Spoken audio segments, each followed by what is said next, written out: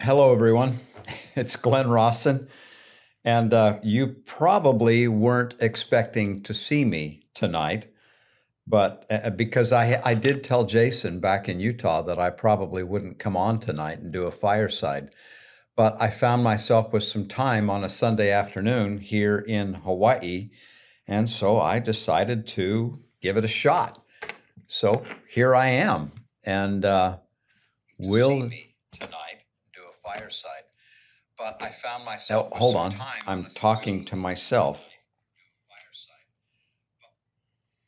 So I am here and uh, going to share a few stories with you. Interestingly enough, four of the six stories relate to the islands, especially to Hawaii. So thank you for joining me. I started just a moment or so early to make sure the equipment would work and that I would be there on time at uh, at eight o'clock. And my understanding is it's eight o'clock in Utah right now, so it should be right on the time when I'm supposed to go. So here it is. This is a makeshift effort. And as you can see behind me, I don't have any elaborate backdrop. I'm in my hotel room, which is the only place where I have Wi Fi. So here I am. I am on an amazing vacations tour in Hawaii right now with 21 of the most wonderful people. We have had a great time talking about Hawaiian history, American history, and especially church history here on the island of Oahu. And I'm going to share a little bit of that history uh, from the island of Hawaii, and I hope you enjoy it. First of all, I wanted to let you know that that coming out from Glenn Rawson Stories, there is a brand new book coming, and it is the stories of the New Testament. We finished all the editing. It's with the printer. That book should be out right around the 1st of April. This is, again, a culmination of work uh, going all the way back to about 1990 when I first started working on this material. So, a lot of years of work, 30 plus years of work on this book about the stories on the life of the Savior. So, that's coming out from Glenn Rawson Stories very soon. Also, I just wanted to let you know that those one day tours, those are out there. Tours of Salt Lake Valley, Utah Valley, Cache Valley, the, uh, the Fall Colors Tour right after General Conference, and more. If you're interested in going on one of these one day church history tours, keep watching on Facebook and we'll give you more information as it, as it becomes available. You're invited, and I would love to have you come. All right, this very first story is, a, is one that is probably old and familiar to some of you. It happened in 1921 when President David O. McKay Elder David O. McKay of the Quorum of the Twelve Apostles and Elder Hugh Cannon were making a tour, a world tour of the missions. They came to Hawaii. They had a day of meetings in Hilo, Hawaii, and that night they decided that they could they would take a trip up to the Kilauea volcano. It was arranged for them and for all the visiting brethren and the missionaries. And then about nine o'clock that night, in two cars, they drove up to Kilauea. Uh, at that time, Kilauea was a very active volcano. Well, uh, Virginia Bud Jacobson, who was in the group, tells the following story. She said, "We stood on the fiery rim of that, the rim of that fiery pit, watching Pele in her satanic antics." She said, "Our backs chilled by the cold sweeping down from snow capped Mauna Loa, and our faces blistered by the heat of the molten lava it, right in front of them. So you've got the cold mountain behind them, the wind coming down, and you got the lava right in front of them coming up from the volcano. Well, one of the elders saw an opportunity and discovered that right down inside the rim of the volcano, there was a ledge about four feet down inside the crater, where you could stand and look at the volcano in front of you, the lava right below you, without being hit by that cold wind. He crawled down and stood on it. It seemed perfectly sound, and there was something of a railing on the open side of it that formed a bit of a protection from the intense heat. It was an excellent place to view the spectacular display, Sister Jacobson said. Well, after first testing its safety, Brother McKay and three of the elders climbed down onto that hanging balcony inside the crater of the volcano. And there they stood, warm and comfortable. They teased the others up above who refused or hesitated in taking advantage of this protection that they had found. Well, Sister Jacobs had said, for quite some time, we all watched the ever changing sight as we alternately chilled and roasted from up on top. After being down there in that protected spot for some time, Brother McKay, Elder McKay, all of a sudden said to those with him, Brethren, I feel impressed that we should get out of here. End of quote. And with that, the elders began to climb out, and Elder McKay assisted each one of them to climb up and out of the inside of that volcano, and he was the last one. They reached down, took him by the hand, lifted him up, and just as they did, that balcony crumbled and dropped with a roar into the molten lava some 100 feet below. Now, it's easy, she said, to visualize the feelings of those who witnessed this terrifying experience. Not a word was said. The whole thing was too awful, she said, with all that that word means. The only sound was the hiss and roar of Pele, the fire goddess of old Hawaii, screaming her disappointment. Sister Jacobson concludes None of us who were witnesses of this experience could ever doubt the reality of revelation in our day. Some might say it was merely inspiration, but to us, it was a direct revelation given to a worthy man. End of quote. Can you imagine? And things like that, I'm just simple minded enough to believe that things like that happen all the time. Second story. now, there's two stories that come together here. The first one um, is this one October 30th, 1838. An angry mob of Missourians attacked the small Latter day Saint settlement of Haun's Mill. It was a vicious, premeditated attack that in the end took the lives of 17 Latter day Saint men and boys, and others wounded. As the shooting stopped, the mob closed in on the blacksmith shop, and there they discovered two small boys hiding beneath the bellows in the blacksmith shop. They were Alma and Sardius Smith. Sardius, 11 years old, was brutally murdered by the mob. I won't even tell you what they did. And then one of the mobbers pointed his weapon at Alma and fired at point blank range.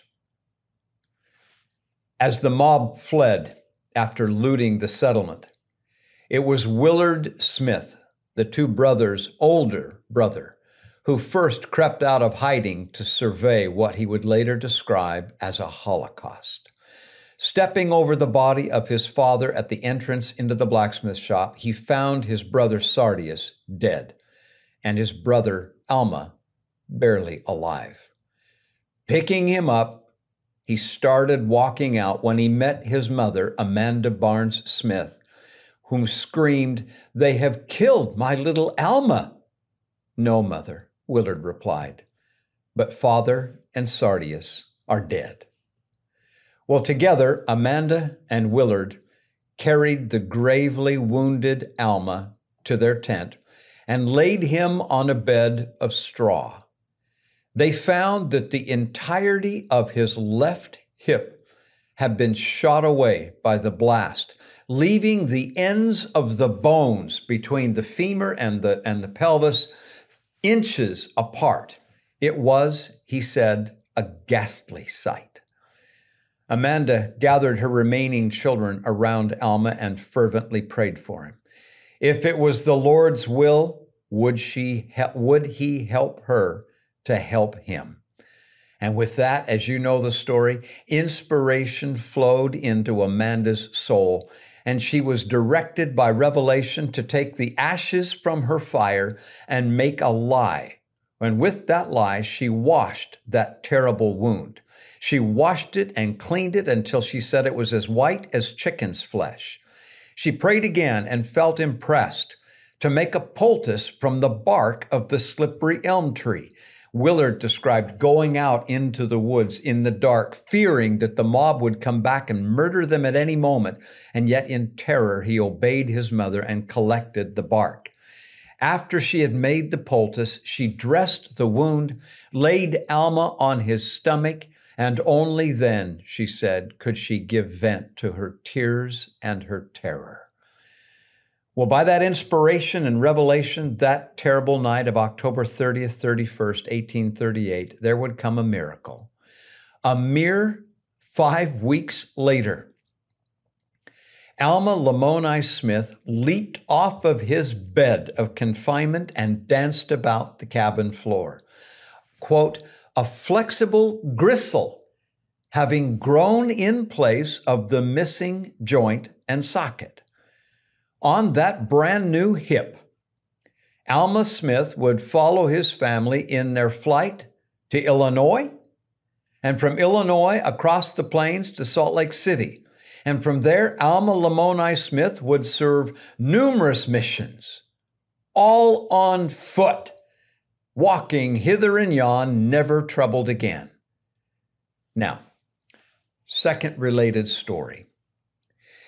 In um, in 18 about 1860 yeah it was 1861 latter-day saint missionaries first came to these islands and i'll tell you about it about 1850 and from 1850 to about 1857 they labored among these hawaiians bringing many thousands of converts.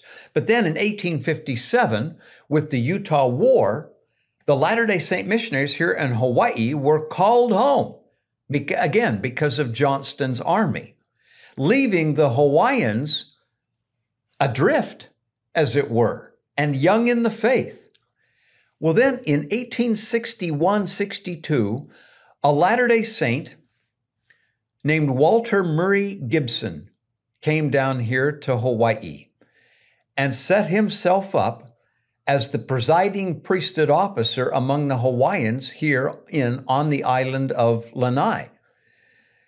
And he began to do things which were rather odd, changing the administration of the sacrament, selling priesthood offices, soliciting funds from church members, and buying up all kinds of property in his name. Well, finally, word reached Salt Lake what Gibson was doing and a group of Latter day Saint priesthood officers were sent down to investigate what Gibson was doing down here. They were led by Elder Lorenzo Snow. When they arrived, now this is in 1864, Lorenzo Snow and his company were going to travel by boat from Honolulu to Lahaina. As they and as they were preparing to go, Joseph F. Smith, who had served a mission here as a 15-year-old boy, said, "Those waters aren't safe. I'm not going to go." Nevertheless, Elder Snow set out. They hadn't gone far, presumably out by the reef somewhere, when waves caught their craft and flipped it over, and all of the brethren were thrown into the water. Well, the um, the missionaries uh, and the native Hawaiians immediately jumped into the water and went out and drug all of the men to shore. They found them all, but after five minutes, they, they still could not find Lorenzo Snow. They finally found him submerged beneath the water, and they dragged him to shore. Quickly, they gave Elder Snow a blessing. No response. A couple of missionaries standing by were determined. They took the apostle and rolled him face down, it is said, over a barrel or something like that to expel the water that he had swallowed. But still, no response. The natives standing by said, Give it up. He's dead. You can't save him. But the two missionaries refused to give him up. They knelt and prayed again. And then they felt impressed to try something most unusual for that day. Taking turns, they blew into Elder Snow's lungs to reinflate, reinflate them.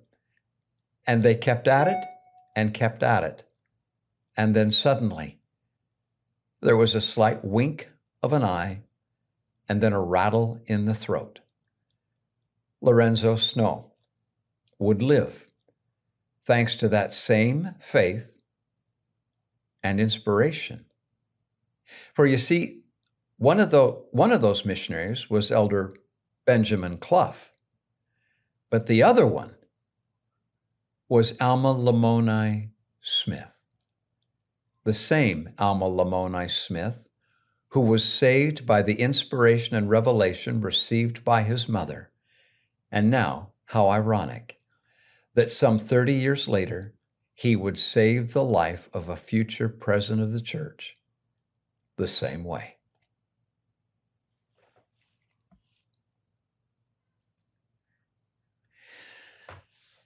Now, this research I am indebted to Chad Orton of the Church History Library, who first obtained this information. The first, as I said, the first missionaries that came here to Hawaii came in 1850 51. It's an interesting story how it came about because you see, as you know, the miners 49er, the gold rush to California in 1849, they did indeed find a lot of gold. And as you probably know, President Brigham Young in the Salt Lake Valley wasn't very complimentary of these men who wanted to run off and mine for gold in California. In fact, he said, You go dig for your gold, we'll stay here and farm, and in a few years, we'll be way richer than you ever could be. But nonetheless, it was undoubtable that there was a great deal of gold coming out of California. So Brigham and the others called gold mining missionaries and sent them to California to dig for gold on behalf of the church. There were a number of about 10 of these men who were sent into California. Well, we are now 1850, and Elder Charles C. Rich of the Quorum of the Twelve comes to California and, among other things, assesses the condition of the Latter day Saints, collects tithing with Elder Amasa Lyman, and then while he is with some of them, he says to them, You know, you might as well spend the winter in, in the Sandwich Islands as to spend it here high up in the Sierras. So, Brother Rich, Elder Rich, called George Q. Cannon, Henry Bigler, and a number of others to go to the Sandwich Islands to become missionaries in the winter of 1850. Well, that was the call. Now, these men were on the American River at a place called Slapjack Bar, high up in the Sierra Nevadas, when this call by Elder Rich came, and they were given a time of departure. And one of the reasons that Elder Rich wanted them to go to Hawaii is he didn't want them to winter over up there in the mining camps where it was more than likely they would fall prey to drinking, gambling, and the immoral life of the miners. Well, the brethren accepted the call. But in order to, to pay for their, their mission to Hawaii, they needed to find some gold.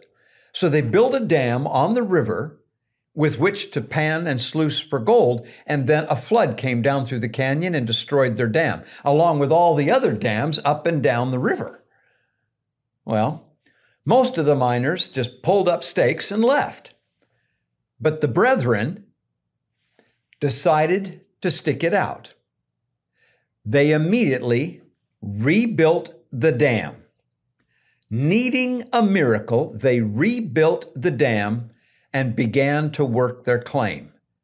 And their efforts paid off beautifully. They struck gold. For two weeks, they pulled gold out of the mine, out of their claim. And then, just as fast as it came on, the claim ran out. Henry Bigler would write in his diary, probably, no doubt, it is all right, meaning it's a good thing. For our eyes might have been so filled with gold dust, they might not have been able to see. End of quote. So the brethren, with the gold dust that they had, set out for San Francisco and boarded a boat in the harbor at Hawaii. And just as they did, a storm struck the Bay Area and trapped their ship in the harbor at anchor. They were unable to leave. Well, it was during those difficult days in San Francisco, eager to get out of the harbor and sail south to Hawaii, that George Q. Cannon had a remarkable dream that would indeed change the course of missionary work in Hawaii. In the dream, the ship's crew was struggling to try to get the anchor up off the bottom, and they couldn't. It was held fast on the bottom of the harbor. And in his dream, George saw the prophet Joseph Smith standing on the deck. George approached him and heard the prophet Joseph pray aloud that the anchor might be loosed from the bottom. And thereafter, one of the men of the ship's crew raised the anchor with ease. George said to the prophet something to this effect I wish I had faith like that. And Joseph responded by saying that such faith was indeed his privilege and that he ought to have it. Well, evidently, that dream proved prophetic. And shortly after, the ship set sail and the missionaries reached Honolulu December the 12th, 1850, nearly three months after they had received their call on the American River in San Francisco. Elder Cannon wrote, quote, The Lord ordered all things for the best and I could not help thinking of my dream and Joseph's words in regard to faith. End of quote. I'll talk more about this in just a moment. First of all, how are you doing? It's I hope you can hear me all right. I hope that this thing is working okay. I really can't tell whether the audio is working okay, how the light is, but I hope it's okay. Uh, I wanted to let you know some of you have been asking. Indeed, History of the Saints, Dennis Lyman and myself will be leading two tours in June, the last two weeks of June, across the Pioneer Trail. What's going to happen? Well, in the first tour, June 16th, we're going to set out from Salt Lake City in a bus and go back along the, the Pioneer Trail all the way from This is the Place Heritage Park on through Wyoming, Nebraska, down into Missouri, and eventually to Nauvoo, where we will then send the first group home after we've covered the trail, all the way from the end of Parley Street, or excuse me, from This is the Place Monument to Parley Street. Then we'll bring a second group out. They'll fly out to meet us, and we will get back on the bus. And literally, from the end of Parley Street we will go all the way back along that trail with that second group and show the same spots, teach the trail from, and that trail was covered by the saints from 1846 all the way to 1869. We will show the places, the sites, the, the landmarks, and the stories of that trail. That is coming up the last two weeks of June 2023. You're invited to come. If you want more information, go to historyofthesaints.org or contact me and we can help you with it. I would love to have you come. I want to have a bus full of people out on that trail and share those marvelous stories. Okay. Again, are you doing okay? I hope this is working okay. I really can't tell. Just a second. Ah. Well, I'm going to have to hope that it is working. All right.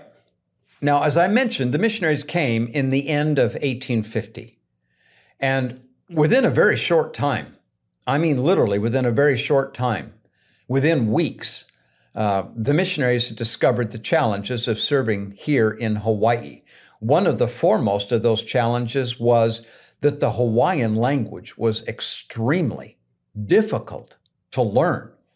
Uh, according to some, it's one of the hardest languages in the world to master. And the first missionaries that came, George Q. Cannon and the others, determined that they were just going to teach the white men, the haoles as they were called, teach the white men here and, uh, and, and, and not worry about them. But George Q. Cannon was of a different attitude. He determined that I'm going to teach all men, be they white or red, he said. And so he determined he would learn the Hawaiian language. And somehow, by faith and the gift of tongues, George Q. Cannon learned the Hawaiian language enough to communicate. So much so, in fact, that he was enabled with the help of others to find converts and would eventually translate the Book of Mormon into Hawaiian.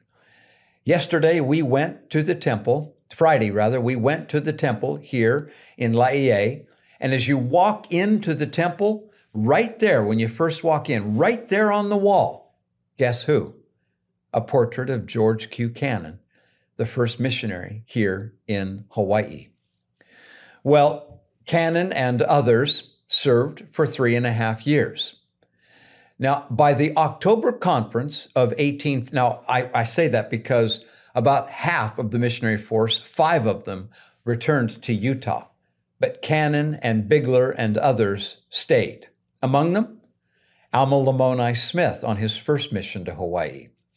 By October Conference 1853, that was an interesting time because there were almost 3,000 baptized Latter day Saints on the, in, here in the Hawaiian Islands, and there were some 53 branches of the church by 1853. From 1853 to 1854, though, there was a great deal of persecution got up here on the islands because of polygamy. Everyone else in the world turned against the church because of polygamy, and Hawaii was no different. Then, according to the historians, a ship came into the harbor I'm not sure if this was in Oahu, on Oahu, or whether it was Hawaii, but a ship called the Charles Mallory came ashore. And on board that ship, the, the, the, the occupants rather, was someone with smallpox. And the smallpox immediately spread over the island of Oahu. And many, tragically, Many of the most faithful members of the church died from the effects of that disease.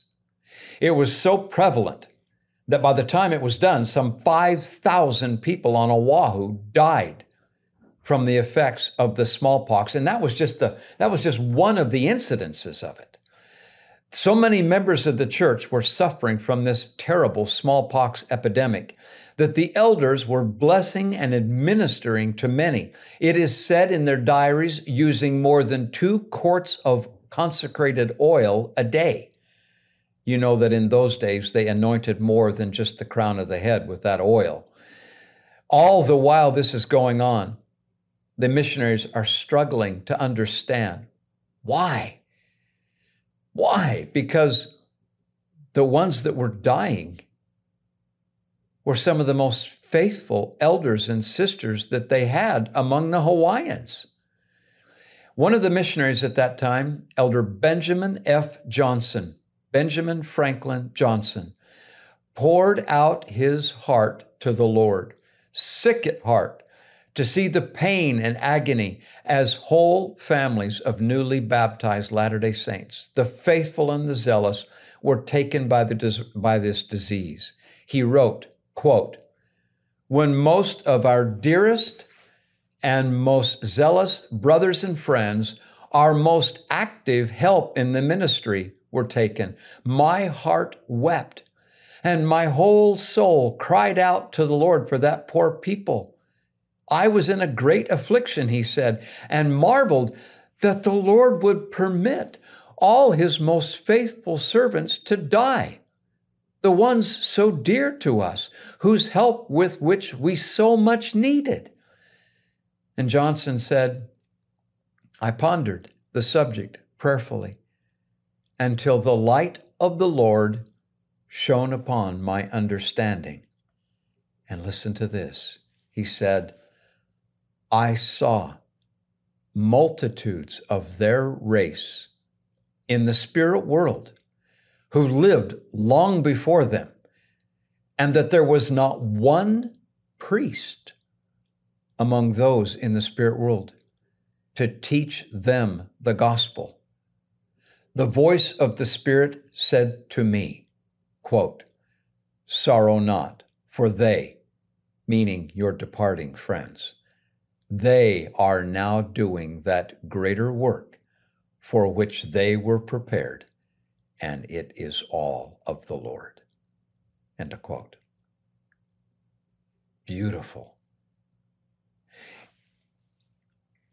As I said, some 5,000 people were killed by that smallpox epidemic in 1853.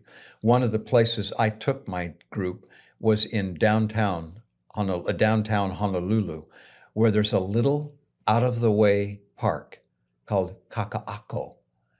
And in there, in that little park, unmarked, no signs, is a mass grave of 1,000 Hawaiians that were killed in 1853 by smallpox. I took my group there and I told them that story. The beauty of that, that why did the most faithful have to suffer and die?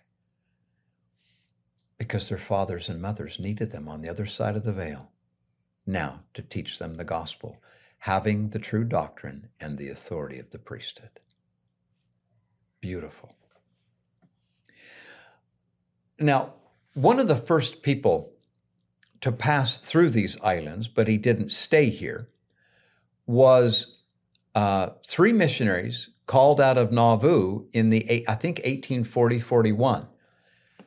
Uh, Addison Pratt, uh, Benjamin Grouard, and Noah Rogers. Those three men were called to go to the islands of the Pacific. Well, they wound up going to Tahiti and places like that and serving down there, but they passed through Hawaii on the way down. And as I thought about them and, and these other brethren, so many of them who came down from the States and served here in the islands, this story is about the wives and children left back home while their husbands labored in this paradise in the middle of nowhere. And, and truly, right where I'm at right now, we are right at 2,400 miles from San Diego on the California coastline, and even further than that from Japan. So we are about as far away from anybody here as we can possibly get. So, what about the mothers and the children back home? Well, this is the story of Louisa Barnes Pratt. She was living in Nauvoo, Illinois in 1846. Her husband, as I said, Addison, had been called to serve as a missionary in the South Pacific. He answered the call, upped and left, leaving Louisa there in Nauvoo to fend for herself with three little children. Then, in the spring of 46, the call came for the saints to flee Nauvoo and go west. Louisa was, I suppose, a little indignant, and she went to one of the leaders of the church and she said, and I quote, I asked him if he could divine the reason why those who had sent my husband to the ends of the earth did not call to inquire whether I could prepare myself for such a perilous journey, or, she said, if I wished to go or stay. The, the presiding priesthood officer's answer, it wasn't Brother Brigham, it was somebody else, said, and I quote, Sister Pratt, they, meaning the church leaders, expect you to be smart enough to go yourself without help and even to assist others. End of quote. well, go chew on those apples. Well, what happens next represents the spirit not only of Amanda or of, of, of Louisa Barnes Pratt, but so many of those early sisters who were left alone to care for their families when their husbands went off to serve. This is what happens. Louisa wrote in her diary, quote, the remark awakened in me a spirit of self-reliance, and I replied, well, I will show them what I can do. End of quote. And she did. I nerved up my heart, she said, and put all my energies to the test to get ready, determined to follow the church come life or death. And death would just about be the outcome for her. She talked about how as they as the church went across Iowa in the spring of 1846, she talked about the mud. Yesterday, she said, we traveled the most intolerable roads. And yet, in the next entry in her diary, Louisa chose not to look at the mud. She said, quote, I begin now to admire the country. Such a beautiful, rolling prairie, she wrote. You can almost see in her diary this conscious decision to look away from her afflictions and to be of good cheer. She wrote, It comes suddenly to my mind how far I am going away from home, parents, and every relative I have in the world. But the Lord has called us and appointed us a place where we can live in peace and be free. End quote. Eventually, Louisa and her family arrived in winter quarters on the Missouri River, and like so many others, Louisa became deathly ill. She wrote, quote, The shaking ague, malaria, fastened deathless fangs upon me from which there is no escape. I shook until it appeared to me my very bones were pulverized. I wept and I prayed. Her children, similarly afflicted by the malaria, huddled by their mother, exposed to the elements on the Missouri. In time, Louisa's fever broke, only for a time, and she managed, by the help of someone else and just good, gritty determination, to hire a man to make a sod hut for her, a soddy, 10 feet by 12 feet. And when he finished making it, she hung up a blanket for a door, built a fire in her new chimney, drew up her rocking chair before it, and that moment felt as rich, she said, as some persons would to be moved into a costly building. Thus, she wrote, we learn to prize enjoyments by sacrifices. Her sufferings and sacrifices continued. The sickness ebbed and flowed through the winter, and yet she never surrendered to a complaining spirit. In the spring of 1848, she once again answered the call of the brethren and set out for the Salt Lake Valley. It was hard for me, she wrote, to waive the dread of a never ending journey. But once again, Louisa Barnes Pratt plucked up her spirits, and when she was three weeks out on the trail, she said, There was not a more mirthful woman in the whole company. The grandeur of nature filled me with grateful aspirations. It culminated in this. As she crossed over the Rocky Mountains, Louisa summarized her journey as follows.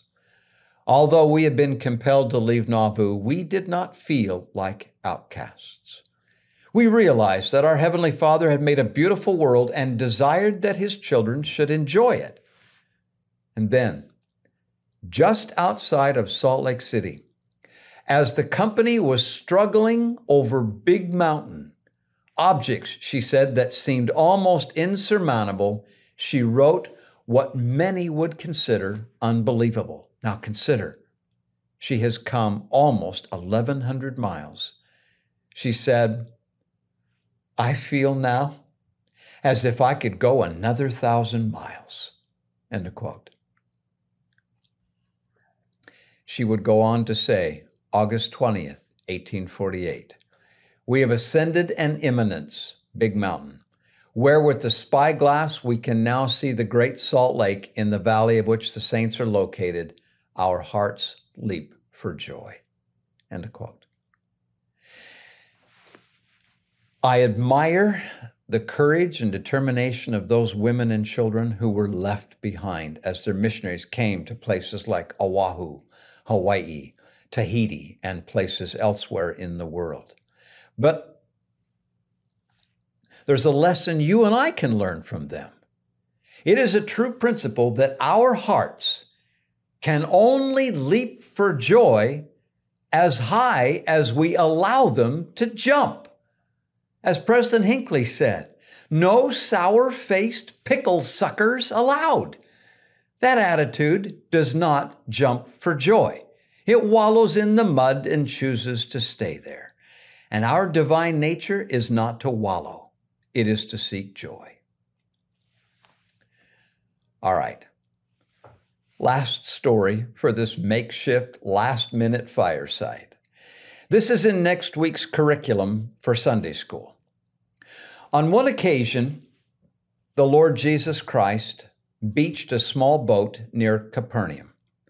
As soon as he did, he was met there by Jairus, the ruler of the synagogue, there in Capernaum. Jairus' 12 year old daughter was dying. We're not told why or what the affliction was, only that the onward roll of nature that brings death to us all was nigh to claiming this beloved daughter desperate, desperate to save his daughter, Jairus, the master of the synagogue, came to the Savior and said, My little daughter lieth at the point of death. I pray thee, come and lay thy hands on her, and she shall live. Mark 5:23. Recognizing that this was real and genuine faith, Jesus agreed to go. While they were en route, and it isn't that far, they were met by messengers from Jairus' house announcing the thing he least wanted to hear that his daughter had died. I love the Savior for what happens right here. Overhearing that dread declaration, Jesus said to Jairus, be not afraid, only believe. He comforted him, encouraged him, bolstered his faith. Don't give up. Hold on. They continued up the street and arrived at Jairus' house. When they came in, the professional mourners were already there, and they were weeping and wailing and causing an irksome disruption to the Spirit of the Lord. Jesus said to them, Why weep ye? The damsel is not dead, but sleepeth. And it says that they laughed him to scorn. Quickly and earnestly, Jesus put them out of the house, cleared them out. And then, taking Peter, James, and John, and the damsel's parents, they go into the death chamber where the daughter of Jairus lay. Can you imagine the feelings and emotions of those parents and the hope that burns within you that maybe Jesus can help?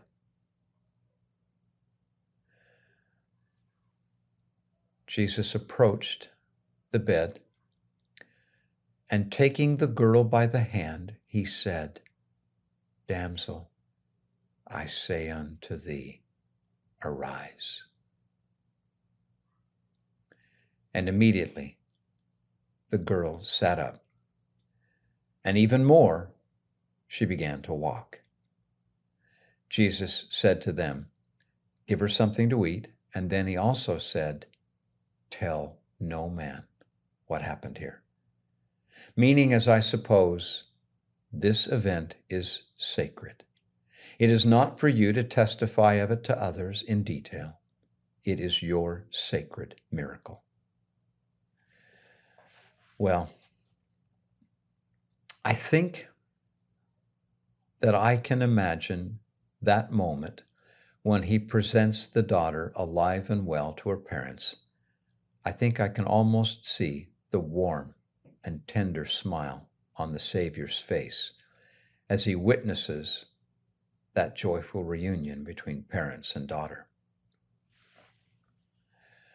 I love this story. It's beautiful. I'm a dad. I have five beautiful daughters and two wonderful sons. My thoughts to you now come more in the form of a question than a statement. I wonder how many times nature has dictated a disaster to befall your loved ones, and it has been averted because you prayed and called down the powers of a loving, merciful, affectionate, and tender God. And He heard you, and He interceded and saved them. How many priceless blessings have you and I received in such a manner and never knew who brought them to us? I guess I'm a simple minded lad, enough so to believe that this has happened many times for you and for me. I would hope that you and I would not underestimate the power of prayer on behalf of those we love, that we would never stop praying for those we love by name and in detail, and thereby place our loved ones under the umbrella of a loving God's care each day. As I said, I'm just simple minded enough to believe, parents and grandparents, that the power of your faith and your uttered prayers will influence generations. And that is my testimony. In the name of Jesus Christ, amen. Next week, my friends, I will be somewhere in the Middle East, Egypt, Israel, or somewhere in between. I'm not exactly sure where I'll be, but if I can come to you, I will. Good night, and God bless.